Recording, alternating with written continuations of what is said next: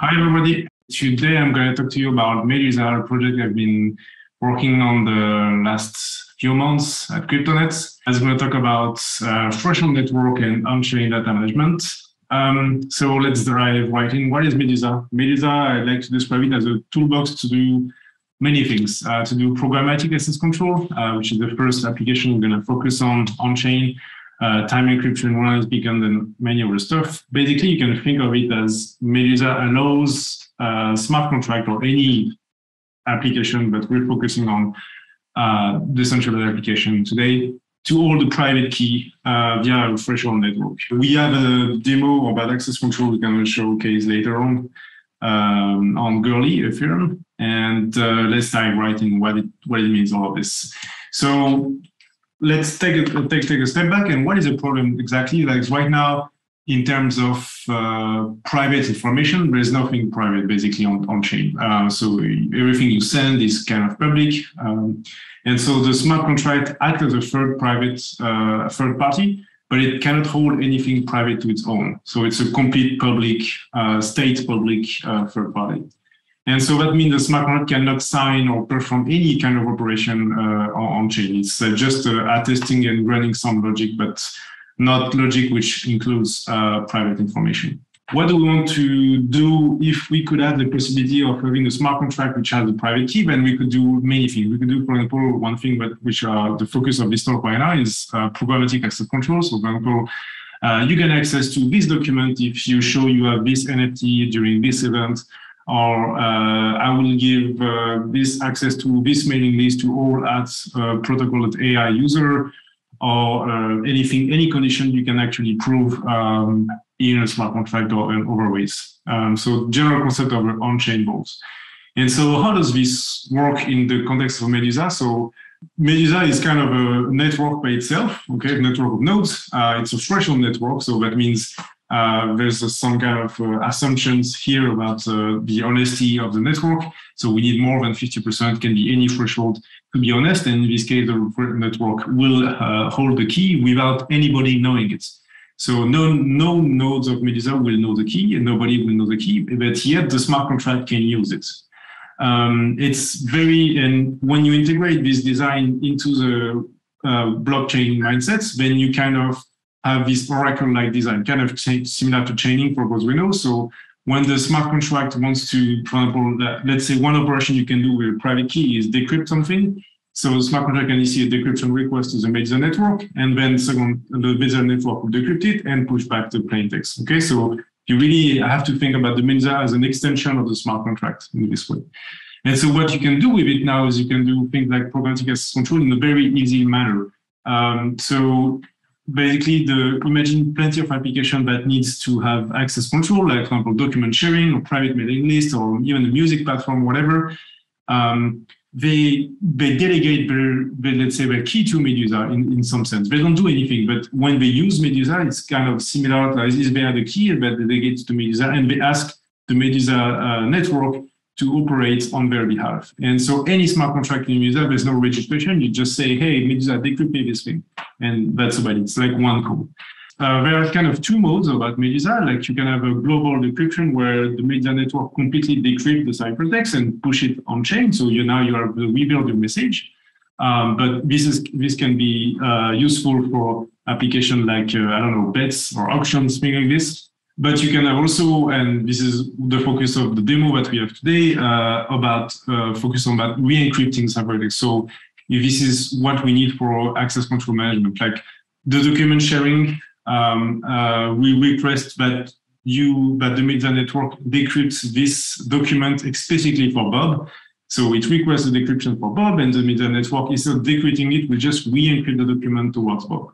So how does it work, let's say, from end to end as user uh, user? So let's say imagine we have Alice, which has a new super top secret document. First thing it does is encrypting it. Okay, right? So now it has a ciphertext. Second thing it does, uh, Alice will submit the uh, document or the, the, the key of the encryption. It will submit the uh, encrypted key that lead to the encryption of the documents and it will lead to an event on Medusa. So now the Medusa network is aware that there is this encryption uh, document somewhere. Uh, but it doesn't do anything yet, right? And later on, it can be one week, one month, one year afterwards.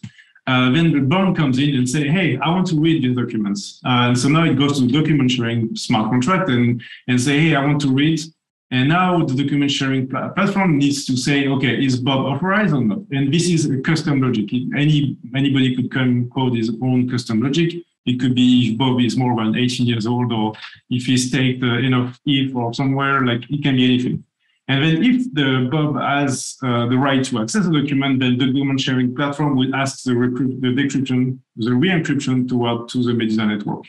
And so now the Medusa network will read everything, will read the decryption request and the submission event from Alice, and it will re-encrypt. So it will never decrypt the ciphertext. At no point in time, the, the encryption will be revealed, uh, will be uh, revealed. And so then once that does this internally, it will push the, the re-encryption on chain to the Medusa smart contract, which will push it to the document sharing. And then Bob will see, oh, okay, my re-encryption is ready. He downloads it on the browser on his command line interface, whatever, and then he do a local decryption. So then he can read the document by himself locally on his computer. And that's kind of the whole workflow we've been working on right now on this Medusa project. Uh, right now, there's uh, only me for this last month, and we just hired somebody that will help me on the smart contract on the backend side, Jonathan Iserman. And then we have a working proof of concept codes. Uh, you can check out the code, which is not completely public yet. So you need to ask me first if you want to have um, invites. It's based on Rust uh, for all the backend and the Solidity right now because we deploy the proof of concept code on Goerli. Um, and the nodes communicate via libp2p with a rendezvous server, uh, pretty basic stuff. We have a demo, which I'm going to show you later. On the future, we want to expand a little bit the use cases. So like I said at the beginning, there's um, access control, but we can do also randomness beacon, we can do time encryption where uh, uh, upon any condition or witness encryption, general witness encryption, or upon any condition, then we reveal something. Uh, we can also do add privacy on top of what are the conditions for somebody to be able to ask the decryption. Uh, this could be private as well. So you could not reveal that your name is Bob and that you're more than 18 years old, but anybody could verify that at least you are more than 18 years old and you are somebody. Um, and MPC could, could help there. And as also we have a kind of a, we're trying to have some kind of research acts on the extending and the scalability of the basic uh, cryptographic primitive that Medusa use, which is threshold cryptography. And uh, as such as this, we have a first iteration. Uh, we made a first um, uh, of concept code about uh, uh, DKG. So the underlying cryptographic primitive, which can run with hundreds of nodes, which is not familiar now. And will lead to maybe a production thing later on, but we need to decide where we want to go.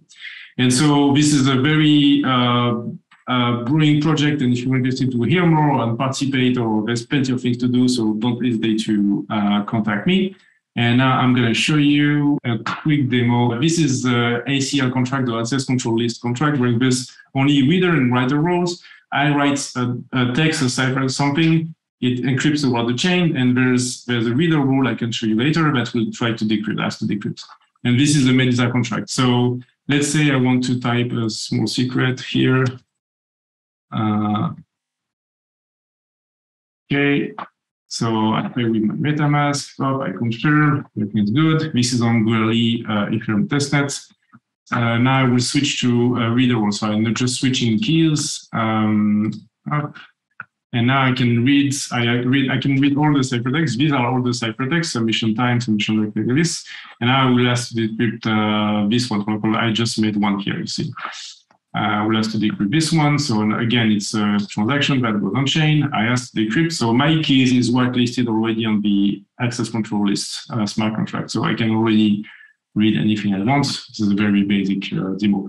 But the idea is that anybody can code his own rules. Like there's no, it's just a Medusa is just a toolbox for uh, people to use on top of it.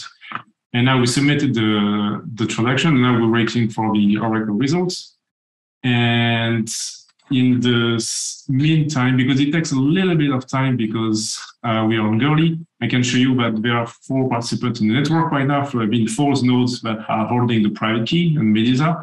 These are all the interesting addresses. And there is a distributed public key to virtual which I encrypt. And here, uh, sign message I mean, Uber banana, and that's it. So I, you see, I can decrypt uh, from the border as well. And that's it for me. Thank you, everyone.